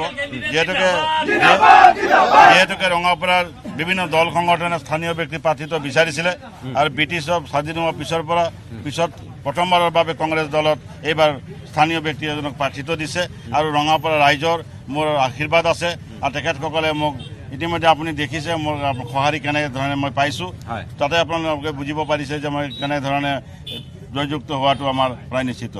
এটা কথা কওক যে আপুনি এই সমষ্টিটো যিটো আপুনি খুব গুৰুত্বপূৰ্ণ এটা কথা কৈছে যে আৰু এই বতৰাটো আপোনালোকে ৰাইজৰ মাজলৈ লৈ গৈছে মই যিমান দূৰ জানো সেইটো হৈছে চালানী আৰু স্থানীয় প্ৰাৰ্থী। এই ধৰণৰ কথা কিছুমান কংগ্ৰেছৰ ফালৰ পৰা প্ৰচাৰ হৈছে। গতিকে সেই হিচাপত যদি চাওঁ বিভিন্ন দল সংগঠনৰ দাবী অনুযায়ী কংগ্ৰেছে ইয়াৰ স্থানীয়গৰাকীক অগ্ৰাধিকাৰ দিছে। সেই সুযোগটো লোৱাটো আপোনাৰ কাৰণে আটাইতকৈ গুৰুত্বপূৰ্ণ আজিৰ তাৰিখত। কিন্তু ভাৰতীয় জনতা পাৰ্টীৰ সমৰ্থনতো বহু লোক আছে। আৰু যিহেতু দুহেজাৰ ষোল্লৰ পৰা তেওঁলোকে এই সমষ্টিটোত চালকৰ আসনত আছে। তাতে শাসকীয় দল। এই প্ৰত্যাহ্বানটো সৰু প্ৰত্যাহ্বান নহয় যথেষ্ট ডাঙৰ প্ৰত্যাহ্বান। তাৰ কাৰণে কেনেধৰণৰ কৌশল আপুনি অৱলম্বন কৰিব? ইতিমধ্যে আপুনি দেখিছে যে আমি ভাৰতীয় জাতীয় কংগ্ৰেছ দলে কংগ্ৰেছ দলৰ স্থানীয় এজন ব্যক্তিক প্ৰাৰ্থিত্ব দিছে। আৰু প্ৰাৰ্থিত্ব দিয়াত প্ৰায় দল সংগঠনে ইতিমধ্যে আমাৰ আমাক সমৰ্থন ডাইৰেক্টলি জনাইছে। আৰু আমিও যিহেতুকে মই চাহ জনগোষ্ঠীৰ এজন যুৱক হিচাপে বা ইয়াত যিহেতুকে সত্তৰ হাজাৰ ভোট আমাৰ চাহ জনগোষ্ঠী আছে। আৰু যিহেতুকে বিজেপি বিজেপি দলে আমাৰ চাৰিটা সমষ্টিৰ উপ নিৰ্বাচন হৈ আছে। চাৰিটা সমষ্টিতে চাহ জনগোষ্ঠী প্ৰাৰ্থিত্বতে তিনিটাত আমাৰ কংগ্ৰেছ দলে দিছে। তেওঁলোকে কিন্তু চাৰিটাতে দিয়া নাই। গতিকে আপোনালোকে চাই লওক যে চাৰিটাত যিহেতুকে সমষ্টিতে যিহেতুকে চাহ জনগোষ্ঠী অধ্যক্ষিত প্ৰায় তিনিটা সমষ্টি চাহ জনগোষ্ঠী অধ্যক্ষিত অঞ্চল হয়। আৰু তিনিটা অঞ্চলতে আমাৰ চাহ জনগোষ্ঠী যিহেতুকে প্ৰাৰ্থিত্ব দিছে আৰু তেখেতসকলে আমাক কিন্তু আমাৰ জনগোষ্ঠীটোকো বিত্ৰায় কৰিছে। আৰু সেই প্ৰত্যুত্তৰ নিশ্চয় চাহ জনগোষ্ঠী ৰাইজে। একে সময়তে এই কথাখিনিও হয়তো চাহ জনগোষ্ঠীয় লোকসকলৰ মন নকৰাকৈ থকা নাই যে বাগিচাৰ লোকসকলক যিটো আৰ্থিক অনুদান যিটো তেওঁলোকৰ একাউণ্টত পোনপটীয়াকৈ টকা দিয়াৰ পৰা আৰম্ভ কৰি তেওঁলোকৰ বাগিচাসমূহৰ বাট পথ সুচল কৰাৰ পৰা আৰম্ভ কৰি তেওঁলোকৰ যিসকল প্ৰসূতি তেওঁলোককো সুবিধা ইত্যাদি প্ৰদান কৰাৰ এটা পদক্ষেপ কিন্তু ভাৰতীয় জনতা পাৰ্টীৰ চৰকাৰখনে লৈছে এই কথাখিনিয়ে সেইসকল ৰাইজক উপভোক্তাৰ শাৰীলৈ তেওঁলোকক ৰূপান্তৰিত কৰিছে বুলি বিভিন্নজনৰ বিভিন্ন ধৰণৰ ৰাজনৈতিক আলোচনাত এই প্ৰসংগসমূহ ওলাইছে। আপুনি কিদৰে ভাবে? সেই লোকসকলক তেনেধৰণৰ সা সুবিধা পোৱাৰ পিছত আপোনালোকৰ পক্ষত আনিব পাৰিবনে? চাওক সঁচা কথা ক'ব গ'লে আমাৰ জনগোষ্ঠীটোক তেখেতসকলে পলিটিকেলি মাৰ্ডাৰ কৰিছে। কি কাৰণে কৰিছে যোৱা নিৰ্বাচনত তেখেতসকলে ইছ্যু আছিলে যে আমাৰ তিনিশ একাৱন্ন টকা তেখেতসকলে হাজিৰাটো বঢ়োৱাৰ কথা। কিন্তু হাজিৰাটো বঢ়াই নিদিলে। দৰিদ্ৰ মানুহক কোনো ধৰণৰ তেখেতসকলে সহায় নকৰিলে।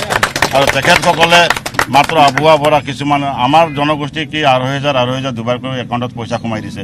কি আমাৰ আমাৰ জনগোষ্ঠী কি পাঁচ হাজাৰ টকাৰে নেকি পাঁচ হাজাৰ টকা কিনিব বিচাৰিছে তেখেতসকলে।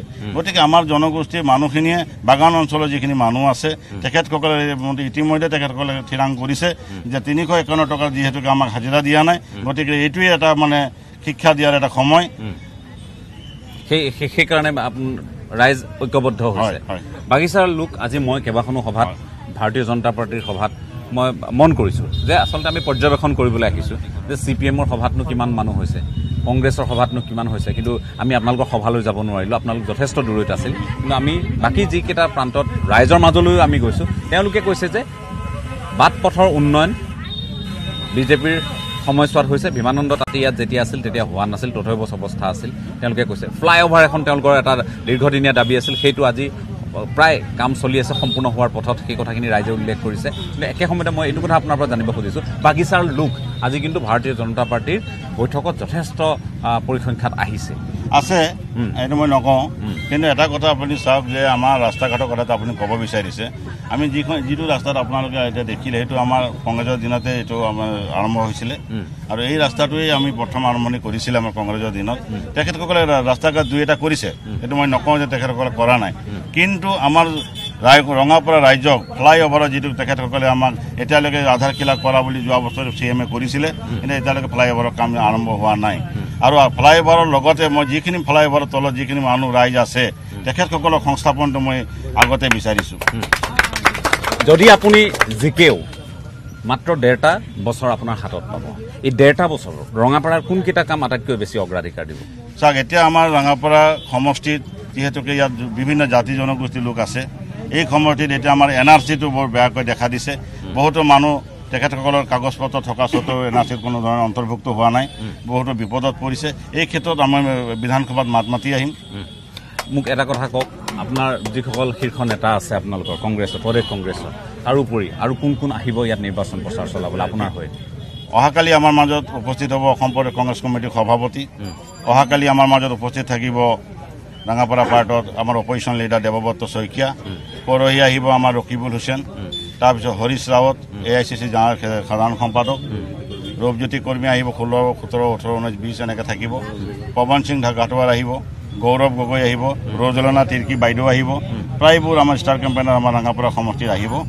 বাগিচাত আপোনালোকে বিপুল ভোট লাভ কৰিব নিশ্চিত? নিশ্চিত আমি। আপোনালোক নিশ্চিত?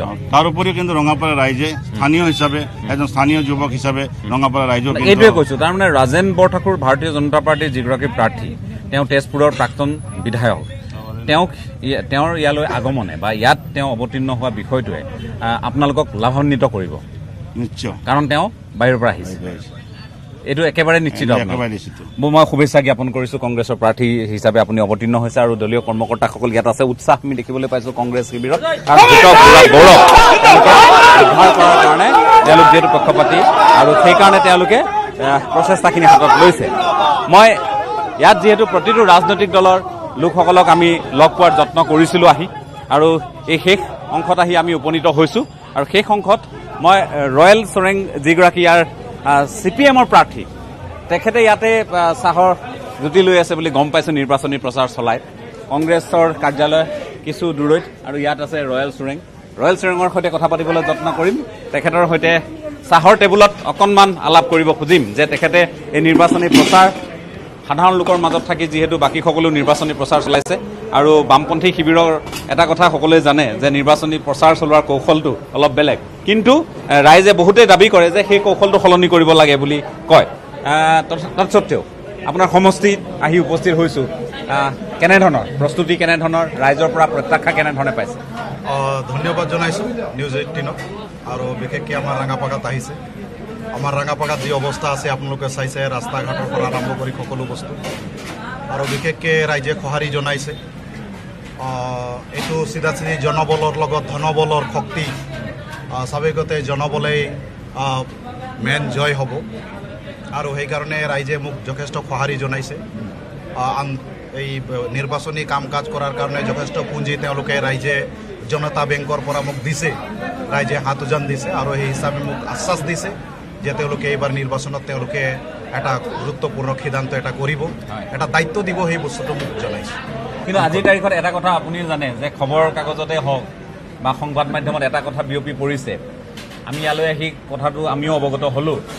আৰু ডক্টৰ হিমন্ত বিশ্ব শৰ্মা পল্লৱ লোচন দাসৰ উপস্থিতিত ইয়াত এখন এটা স্বাস্থ্য কেন্দ্ৰত এটি শিশু জন্ম হ'ল আৰু এই নৱজাতকৰ নাম মাতৃ হিমন্ত ৰাখিছে। এই কথাখিনিয়ে এই কথাখিনিও কিন্তু এটা মেছেজ যায় নিৰ্বাচনৰ প্ৰাক্ষণত চাহ জনগোষ্ঠীয় লোকে বিজেপিক বাকী যেনেকৈ এটা সময়ত কংগ্ৰেছক আদৰি লৈছিল কংগ্ৰেছক ইয়াৰ আমঠু বুলি ভাবিছিল এতিয়া বিজেপিক কিন্তু ভাবিবলৈ লৈছে। তাত কিন্তু আপোনালোকৰ কাৰণে ডাঙৰ প্ৰত্যাহ্বান সেইটো। এইটো কোনো প্ৰত্যাহ্বান নহয়। তেওঁলোকৰ আগত যিটো আছিল যোৱা নিৰ্বাচনত সময়ত তেওঁলোকৰ যেনেকৈ জয় জয়ময় আছিল এইটো ওচৰত তেওঁলোকৰ এতিয়া জয় জয়ময় নাই। এইটো একদম খাটাং কথা। তেওঁলোকে নিজেই যোৱা সময়ত তেওঁলোকে অভাৰ ব্ৰিজৰ ফিতা কাটি গৈছিল ৰাস্তাৰ ফিতা কাটি গৈছিলে কেইবাটাও। হস্পিটেলত নতুন মডেল এটা কৰাৰ কথাটো কৈছে। নহ'লতো এটা প্ৰতিশ্ৰুতি পূৰণ নহ'ল। চবতকৈ ডাঙৰ কথাটো চাহ জনগোষ্ঠী চাহ শ্ৰমিকসকলৰ তেওঁলোকে তিনিশ একাৱন্ন টকা মজুৰিৰ কথাটো কি হ'ল এইটো তেওঁলোকে জবাব দিয়ক। আমি সেই বস্তুটো বিচাৰোঁ। যিটো মূল্য যিটো হেৰি আচল কথা এই কথাটোত তেওঁলোকে এই ৰাঙাপাগা সমষ্টিত বিশেষকৈ চাহ বাগান এলেকাত কিমানজন শ্ৰমিক ৰাইজক তেওঁলোকে ভেটি মাটিৰ পাট্টা দিব পাৰিলে। তেওঁলোকে কিমান চাহ শ্ৰমিক দৰদী হয় তেওঁলোকে কিবা কম- সময়ৰ ভিতৰত চাহ শ্ৰমিক চাহ জনগোষ্ঠীক বিশেষকৈ নিবনুৱা যুৱকক তেওঁলোকে কিমান চাকৰি দিব পাৰিছে তেওঁলোকে কিবা কৰিব পাৰিছে নে নাই? নাই কৰা শিক্ষাৰ ক্ষেত্ৰত তেওঁলোকে ডেভেলপমেণ্ট কৰাৰ কথাটো তেওঁলোকে চিঞৰি চিঞৰি কৈছিল আমাৰ ইয়াত ৰাঙাপাগা সমষ্টিত এটাই ৰাঙাপাগা কলেজ আছে। এই কলেজত তেওঁলোকে ছায়েন্সৰ হা? বিজ্ঞান বিভাগটো তেওঁলোকে আনাৰ কথাটো কৈছিল কিন্তু আজিলৈকে তেওঁলোকে সেইটো আনিবলৈ ব্যৰ্থ হৈছে। গতিকে স্বাভাৱিকতে এই কেইবাটাও কথা আছে। আমি যিহেতু ৰঙাপৰা বিধানসভা সমষ্টিত আছোঁ উপ নিৰ্বাচনক লৈ ইয়ালৈ পৰ্যবেক্ষণ কৰিবলৈ আহিছিলোঁ। প্ৰত্যেকগৰাকী প্ৰাৰ্থীক লগ কৰাৰ যিমান দূৰ চেষ্টা আমি কৰিছোঁ আমি প্ৰায় সমৰ্থ হৈছোঁ দুগৰাকী বাদ পৰিল। কিন্তু আমি আজিৰ তাৰিখত উল্লেখ কৰিব লাগিব যে Congress BJP C P M. তিনিগৰাকী প্ৰাৰ্থীক লগ পাইছোঁ। তেওঁলোকে কথাখিনি কৈছে ডক্টৰ হিমন্ত বিশ্ব শৰ্মাও ইয়ালৈ আহিছে। ইয়াৰ পিছত একৈছ তাৰিখে ৰাইজে মোহৰ ক'ত মাৰিব ক'ত টিপিব ভূটান সেইটোলৈ আমি অপেক্ষা কৰিব লাগিব আৰু তাৰ পিছত ফলাফল নিশ্চয় আপোনালোকৰ সকলোৰে সন্মুখলৈ আহিব। আভাস এটাই দিব পাৰোঁ ৰঙাপৰাত কিন্তু ৰণ এখন হ'ব এই ৰণত কোনে বিজয় হাঁহি মাৰিব সেয়া আপোনালোকে নিশ্চয় অনাগত সময়ত গম পাব। আজি পৰ্যবেক্ষণ ইমানতে সামৰিছোঁ ধন্যবাদ।